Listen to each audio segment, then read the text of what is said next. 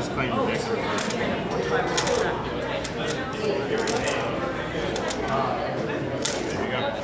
Wow. But if you were to hold off longer, No, it doesn't matter.